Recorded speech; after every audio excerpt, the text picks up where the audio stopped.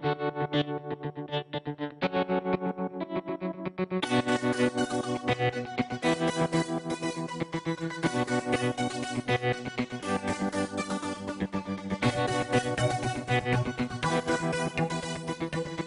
courses at MPI are not your conventional film courses. They really are not just textbook. They're extremely hands-on. rather than just sitting in a classroom and like, okay, this is how you do this, this is how you do this. It's like, no, okay, yeah, we'll learn how to do it, but by experiencing it. It's one year, it's not four or five. It's an intense program, but you're not wasting any time. You get a year of straight film.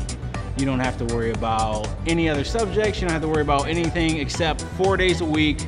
You're learning about film. You're learning about screenwriting. You're learning about directing. You're learning about cinematography. Then you're learning about producing.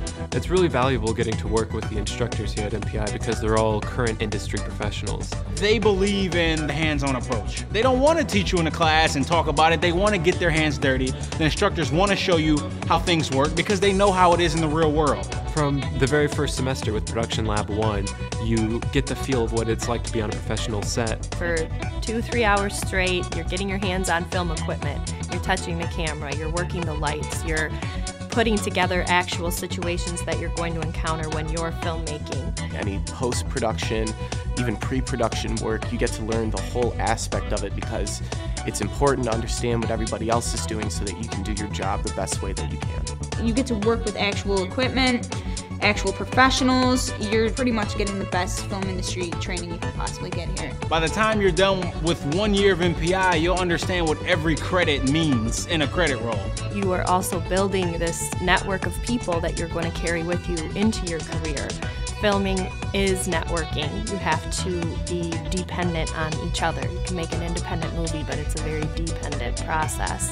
After all the blood, sweat, and tears that go into the thesis season and making all those films, when you're finally in the movie theater at your graduation watching all the films that you worked on so hard, it really makes it a rewarding experience and something that you will never forget.